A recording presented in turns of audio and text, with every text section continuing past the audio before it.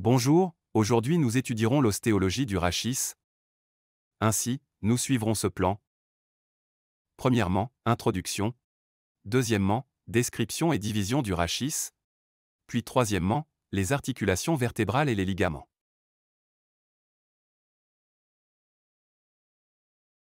La colonne vertébrale forme une tige segmentaire, dorsale, médiane, résistante, articulée et flexible.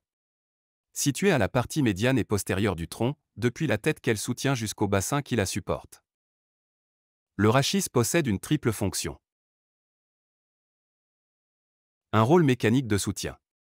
Un rôle de protection de la moelle épinière. Un rôle dynamique pour la marche et le mouvement. Les mouvements de flexion et d'extension semblent avoir une amplitude totale variable, entre 57 et 90 degrés. L'inclinaison latérale varie entre 20 et 28 degrés, avec une forte limitation entre L5 et S1, du fait de l'existence du ligament iliolombaire. La rotation axiale est très réduite, du fait de la configuration des articulations igapophysaires.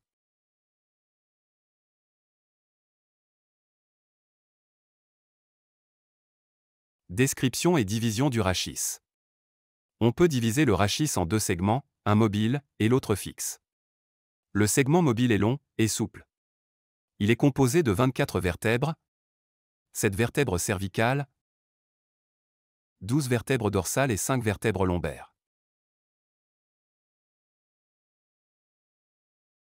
Le rachis fixe, lui, est court, rigide, et composé de 8 à 10 vertèbres, 5 vertèbres sacrées, soudées, c'est le sacrum. Et 3 à 5 vertèbres coccygiennes, c'est le coccyx. Le rachis a une hauteur de 70 cm chez l'homme et 60 chez la femme. Il a une largeur d'11 cm à la base. Le rachis présente à décrire trois courbures. La lordose cervicale, concave en arrière. La syphose thoracique, concave en avant. Et la lordose lombaire, concave en arrière.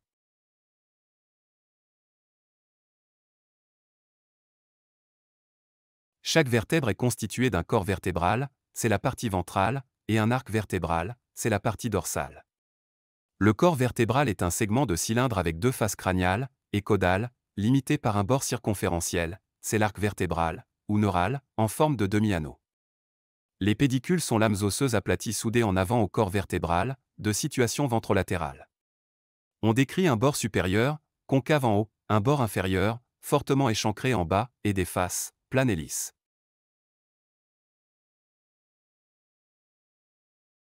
Les lames sont au nombre de deux, droite et gauche, elles sont plates, minces et quadrilatères.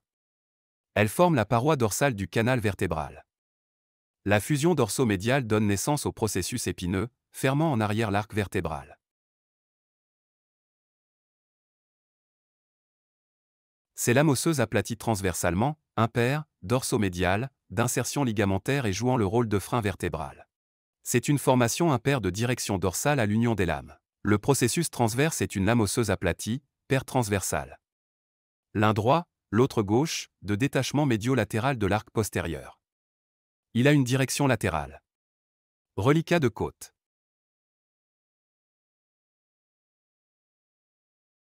Les processus articulaires sont au nombre de 4, 2 craniaux et 2 caudaux, les craniaux descendent des lames. Le rachis cervical, Composé de cette vertèbre, il décrit une courbure à concavité ventrale. Sa longueur moyenne est de 14 cm. Dans la vertèbre cervicale type, le corps est cubique, il présente à décrire deux faces. Une face crâniale, où se trouvent des crochets, ou processus semi-lunaires, les apophyses incinées. Et une face caudale. Les pédicules sont situés sur la face postérolatérale du corps vertébral, présentant un bord épais et échancré. Les lames sont rectangulaires et larges.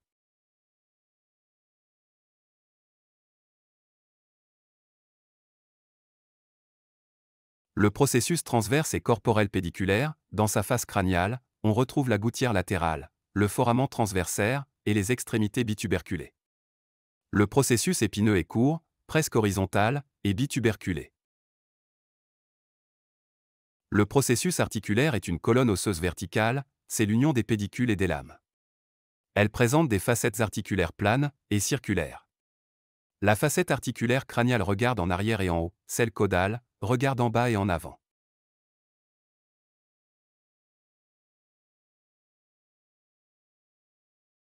Le foramen vertébral est triangulaire, à sommet dorsal.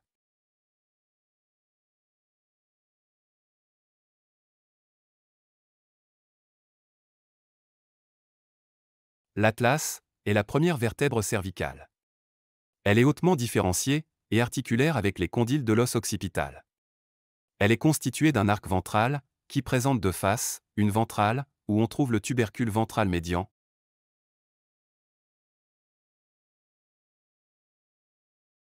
et l'autre dorsale, où on trouve la facette articulaire pour la dent de l'axis.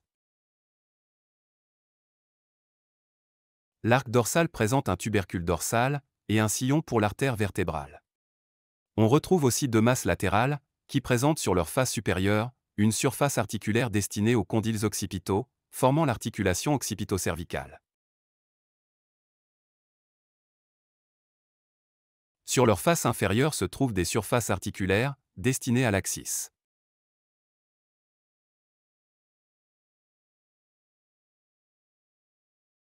Le processus transverse présente une extrémité unituberculée, elle est creusée d'un trou, c'est le foramen transversaire, qui livre passage de l'artère vertébrale.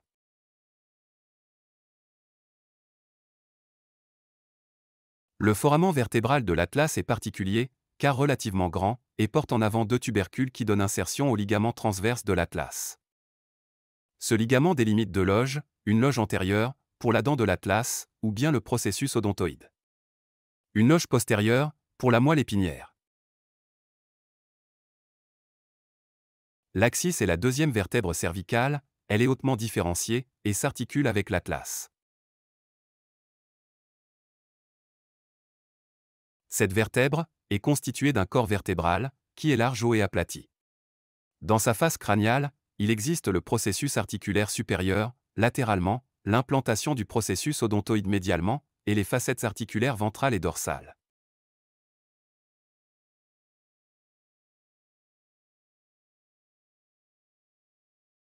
Sur la face inférieure, on retrouve une surface articulaire avec la troisième vertèbre cervicale.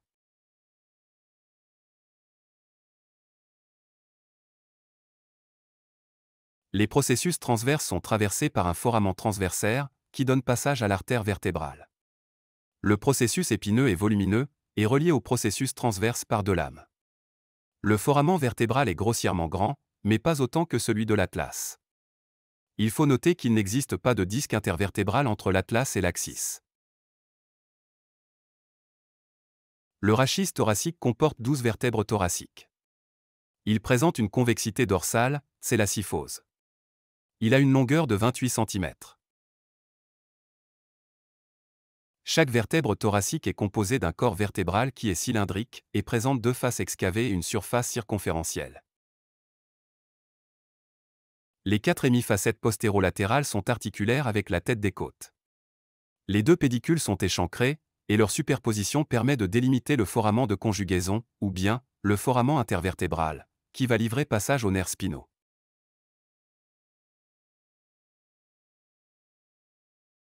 Les lames sont quadrilatères, hautes et larges. Le processus épineux est long, incliné et unituberculé.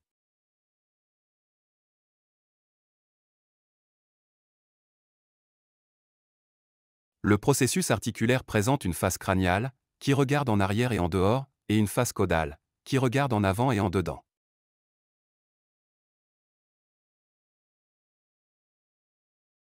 Le processus transverse présente une facette costale articulaire, destinée au tubercule de la côte. Le foramen vertébral est circulaire, et petit. Le rachis lombaire comporte 5 vertèbres, il a une convexité ventrale, et une longueur de 20 cm. Chaque vertèbre lombaire est constituée par un corps vertébral volumineux et réniforme.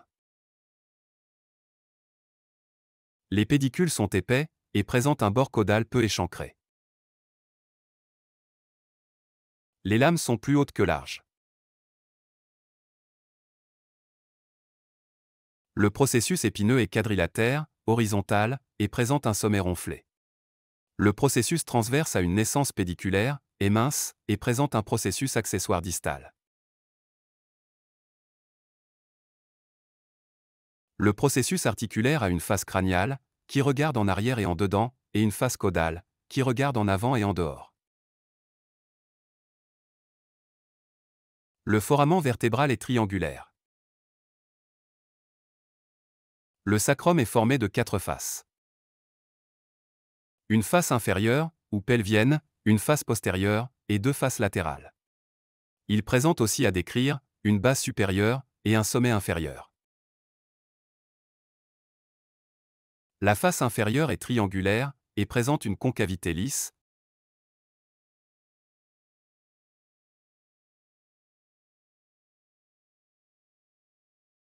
Son toit supérieur est convexe et présente à sa partie médiale une structure importante, le promontoire sacré.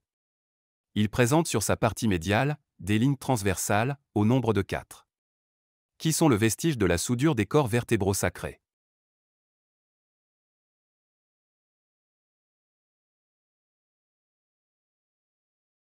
À l'extrémité de ces lignes transversales se trouvent les foraments sacrés pelviens. La face postérieure est convexe et irrégulière. Sur la ligne médiane, elle présente la crête sacrale médiale, qui résulte de la soudure des apophyses épineuses des vertèbres sacrées.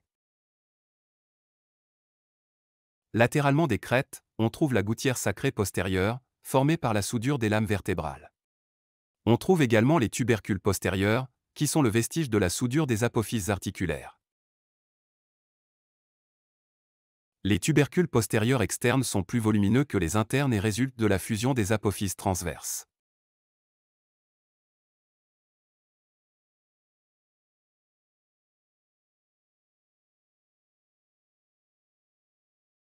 Entre les tubercules postérieurs externes et internes, on trouve le foramen sacré postérieur.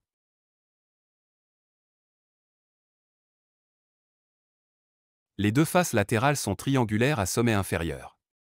Elles sont orientées en dehors et en arrière. On lui décrit deux segments. Un segment supérieur, qui correspond aux deux premières vertèbres sacrales, dont la surface articulaire est en forme de croissant. Cette surface est articulaire avec la facette correspondante de l'os iliaque. Et un segment inférieur donne insertion aux deux ligaments sacrosciatiques, au muscle grand fessier, et en bas, au muscle ischio-coccygien. Au niveau de la base, on trouve une surface articulaire avec la cinquième vertèbre lombaire et deux surfaces triangulaires, qui sont lisses, sur lesquelles s'insère le muscle iliaque.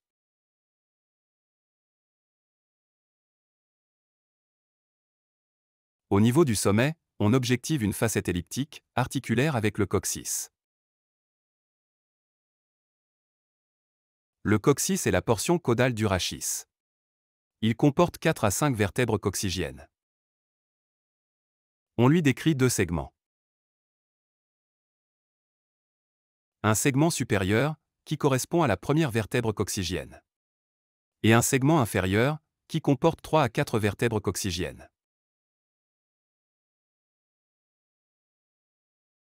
les articulations et les ligaments vertébraux.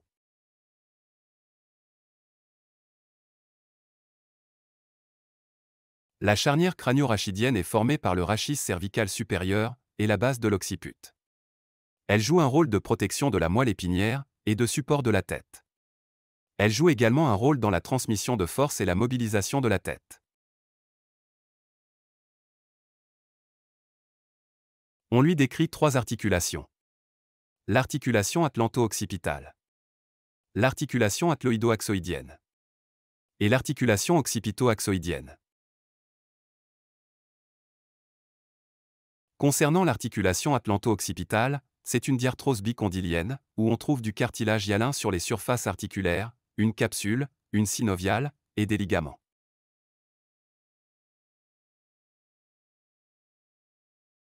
Les surfaces articulaires sont présentées par le condyle de l'os occipital et les cavités glénoïdes de l'atlas.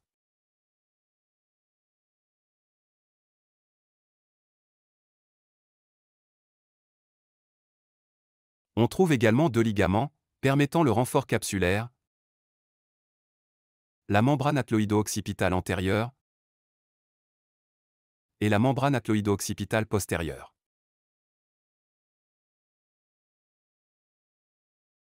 L'articulation atloïdo-axoïdienne présente deux types d'articulation. Une articulation médiane entre l'atlas et l'odontoïde. Et les articulations latérales entre les apophyses articulaires. La première, est trochoïde ou à pivot, on lui décrit deux parties, une antérieure, atloïdo-odontoïdienne. Et l'autre postérieure, syndesmo-odontoïdienne.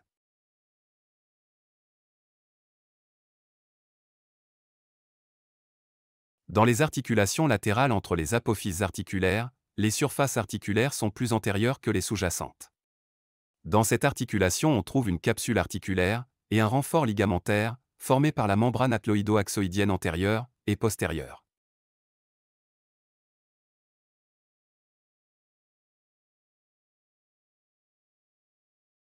L'articulation occipito-axoïdienne présente deux sortes de ligaments, entre l'occipital et le corps de l'axis, on trouve le ligament cruciforme par son faisceau longitudinal à deux branches, supérieure et inférieure. Et le ligament occipito-axoïdien, correspondant à la membrane tectoria, en arrière du précédent, avec un faisceau médian et deux latéraux.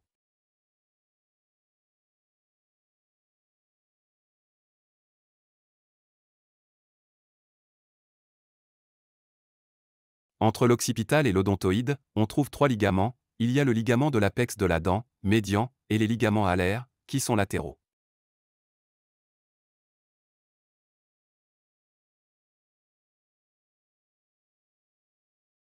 Le disque intervertébral est un fibrocartilage qui s'interpose entre deux corps vertébraux. Il représente 25% de la hauteur totale du rachis. Ce sont des amortisseurs des pressions. Le disque, une forme de lentille biconvexe, est présente à décrire deux parties, une partie périphérique, c'est l'anneau fibreux. Et une partie centrale, c'est le noyau pulpeux. Ce dernier est déformable, mobile et postérieur.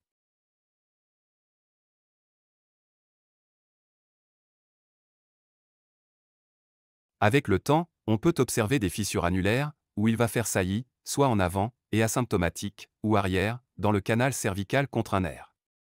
C'est une hernie discale.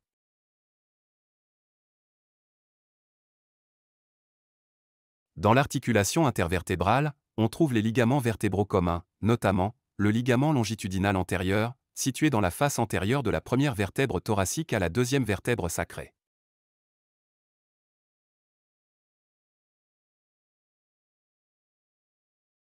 Et le ligament longitudinal postérieur, situé dans la face postérieure des disques.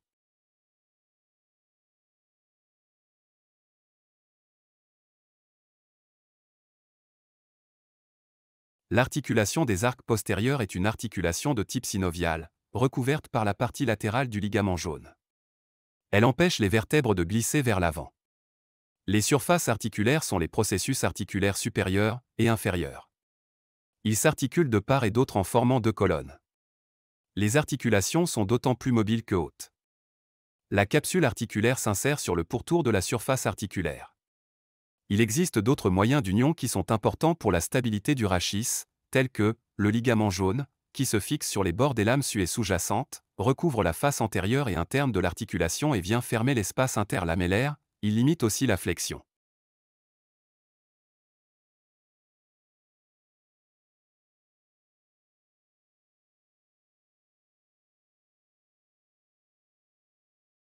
Le ligament interépineux, tendu d'un processus épineux à l'autre, limite la flexion et l'extension. Le ligament surépineux, tendu de la septième vertèbre cervicale à la crête sacrale, sur le sommet des épineuses, limite les mouvements d'hyperflexion.